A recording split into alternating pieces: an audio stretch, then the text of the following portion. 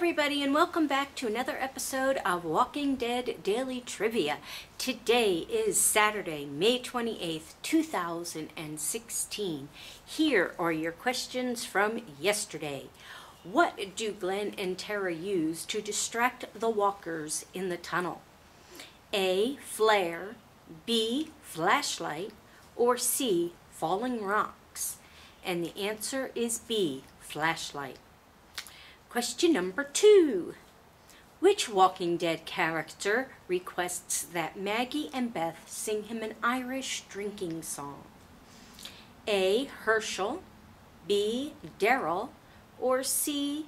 Carl? And the answer is A. Hershel. We got a little factoid on this card.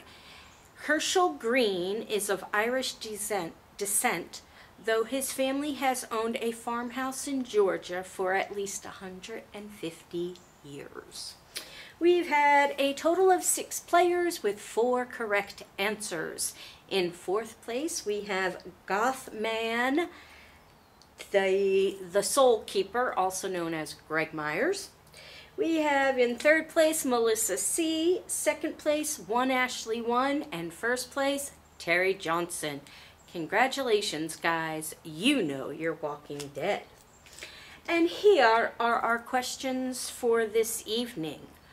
What reason does Carl give Michonne for not wearing his cowboy hat anymore? A. Bad things happened last time. B. He lost it. Or C. It's not a farming hat.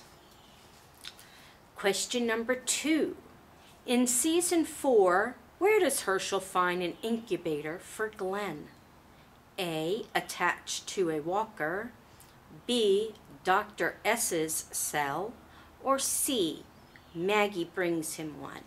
There you have it, guys. Y'all questions for this evening.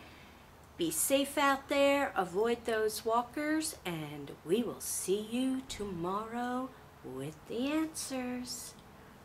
Bye.